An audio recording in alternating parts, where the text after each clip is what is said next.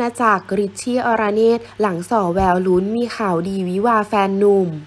เรียกได้ว่าเป็นอีกหนึ่งนักแสดงสาวสวยมากความสามารถที่ใครหลายคนชื่นชอบ นั่นคือริชชี่ออราเนตดีคาบาเลสที่ใครหลายคนไม่ทราบเรื่องนี้มาก่อน ว่าแม้ภายนอกเธอจะเป็นสาวเรียบร้อยถ่อมตนไม่อวด แต่ความจริงนั้นเธอรวยมากๆ แถมเป็นถึงหลานสาวแท้ๆ ของคุณชาลอตโทนนาวันนี้ซึ่งเป็นนักกิจการระดับหมื่นล้านของเมืองไทยเลยก็ว่าได้ ทั้งนี้สำหรับชาลอตโทนาวันนิก เป็นผู้บริหารหญิงคนแรกๆ ที่ได้ก้าวขึ้นมาเป็นผู้บริหารเบอร์ต้นๆ ของสถาบันการเงินชื่อดัง ด้วยผลงานการสร้างชื่อแบรนด์ธนาคารกรุงศรีอยุธยา แถมพ่วงด้วยบทของโคศกประจำธนาคารเพียงคนเดียวท่ามกลางแบงค์คู่แข่ง ก็ยิ่งทำให้ชื่อของชาร์ลอตเป็นที่รู้จักของสื่อมวลชนทุกแขนง และยังเป็น CEO บริษัท Media of Media จำกัดมหาชน ซึ่งเป็นกิจการบันเทิงรวยระดับหมื่นล้านของเมืองไทยเลยทีเดียว แถมยังมีหลานสาวสุดสวยอย่างริชชี่อรเณศเป็นหลานแท้ๆที่ไม่เคยบอกออกสื่อว่าเป็นหลานสาว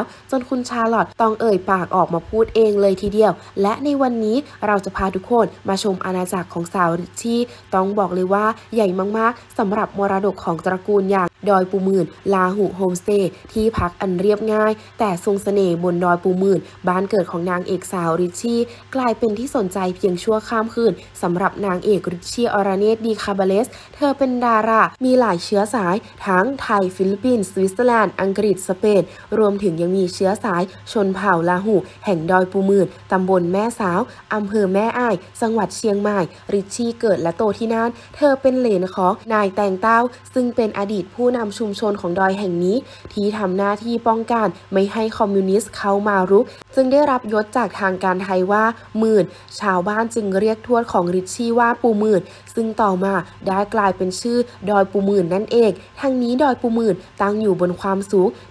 1,400 ถึง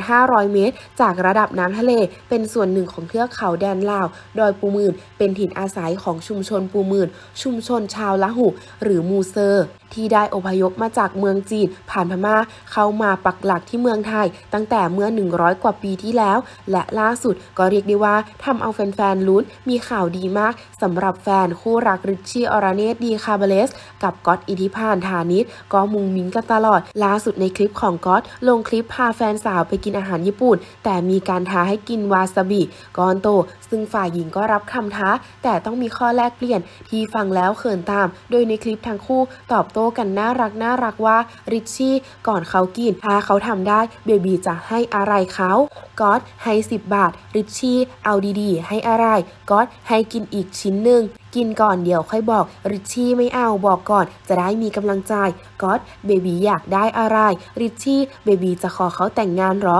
ก๊อต อืมอืมริชชี่ โอเค รีบกินทันที งานนี้ทำเอาแฟนๆ รอลุ้นเลยว่า จะมีข่าวดีตอนไหน เพราะตอนนี้ว่าที่เจ้าสาวของเราเหมือนจะพร้อมแล้ว